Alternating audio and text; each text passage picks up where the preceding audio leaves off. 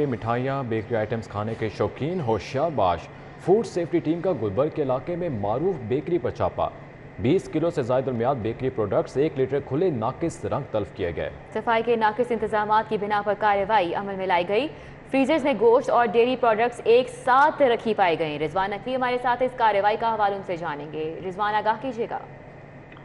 जी, बिल्कुल। Punjab food authority की food safety team ने गुलबर्ग के इलाके में मारूफ बेकरी पे छापामार कार्रवाई करते हुए 20 किलो से जायद जायदुल मयाद बेकरी प्रोडक्ट्स और इसके साथ साथ एक लीटर खुले नाकस रंग तलब कर दिए हैं। सबका हदायत पे अमल दरामद ना करने और हिफान सेहत के असूलों की पासदारी ना करने पे पंजाब फ़ूड अथॉरिटी की टीम ने ये कार्रवाई की है।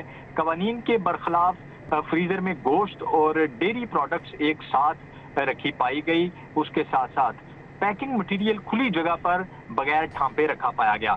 बेकरी में प्रोसेसिंग एरिया में फ्रेश और जायदुल मयाद अशिया को एक साथ रखा गया था, जिसपे पंजाब फ़ूड अथॉरिटी की टीम ने छापामार कार्रवाई करते हुए 20 किलो से जायद एक्सपायरी आइटम्स हैं जो कि एक्सपायर्ड थी, वो वहाँ से मौका से जब्त करके तलब कर दिए हैं। जी।